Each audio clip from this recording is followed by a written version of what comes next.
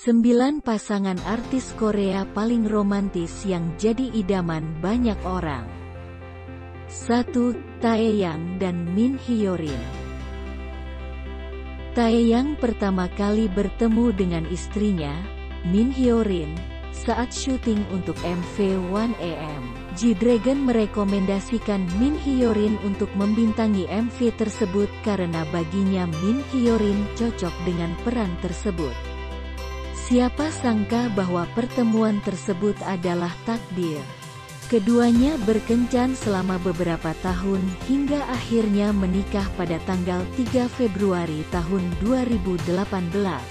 2. San dan Jung Hye Yang San dan Jung Hye Yang menikah pada tanggal 8 Oktober tahun 2004.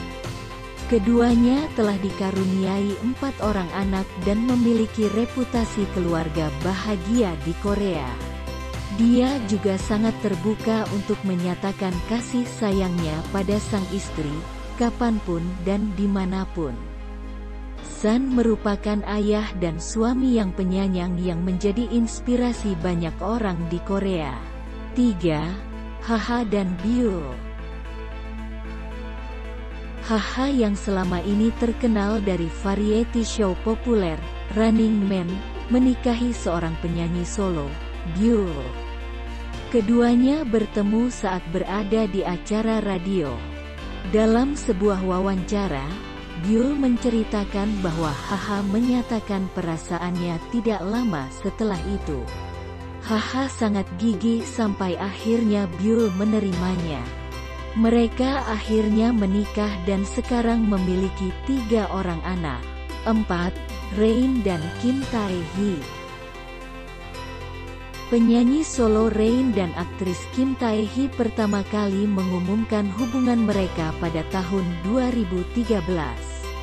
Rain terlihat sangat mencintai istrinya dan tidak pernah malu untuk menyatakan bahwa Kim Tae-hee adalah cinta pertamanya. Saat tampil di Knowing Brothers, Rain membawakan lagu berjudul The Best Present.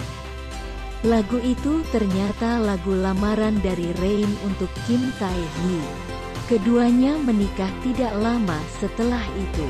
5. Sun Ye Jin dan Hyun Bin Sun Ye Jin dan Hyun Bin menjadi pasangan yang kabar hubungannya sangat ditunggu-tunggu oleh para penggemar. Sejak keduanya membintangi drama Crash Landing on You pada tahun 2019, para penggemar sudah berharap keduanya bisa bersama. Pasangan ini memiliki chemistry yang luar biasa dalam drama tersebut. Pada bulan November tahun 2022, keduanya sudah menyambut anak laki-laki pertama mereka. 6.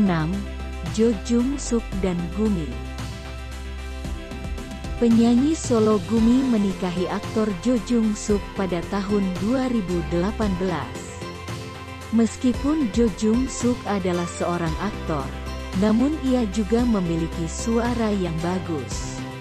Keduanya merupakan pasangan penyanyi yang sangat berbakat. Gumi dan Jo Jung Suk bertemu setelah dikenalkan oleh seorang teman. Musiklah yang membuat mereka menjadi lebih dekat. 7. Yo Ji Tae dan Kim Hyo Jin Hubungan Yo Ji Tae dan Kim Hyo Jin memiliki sejarah yang panjang dan romantis. Keduanya berteman cukup lama sampai akhirnya mereka menjadi pasangan. Ji Tae yang pertama kali menyatakan perasaannya. Awalnya Hyo Jin enggan, namun ia akhirnya memberikan Ji Tae kesempatan. 8. Ji Sung dan Lee Bo Yang Aktor Ji Sung dan aktris Lee Bo Yang menikah pada tahun 2013 dan telah memiliki dua anak. Keduanya bertemu dalam syuting drama. Ji Sung menceritakan bahwa ia jatuh cinta pada pandangan pertama.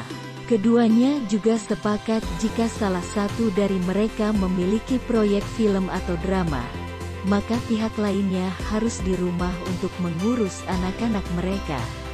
9. Yeon Jung Hoon dan Han Ga In Sejak Yeon Jung Hoon tampil menjadi anggota tetap variety show Two Days One Night, kehidupan pernikahan mereka sering terungkap. Keduanya telah memiliki dua orang anak. Yeon Jung Hoon terlihat sangat mencintai istrinya karena ia terus-menerus menelpon istrinya ketika syuting acara tersebut.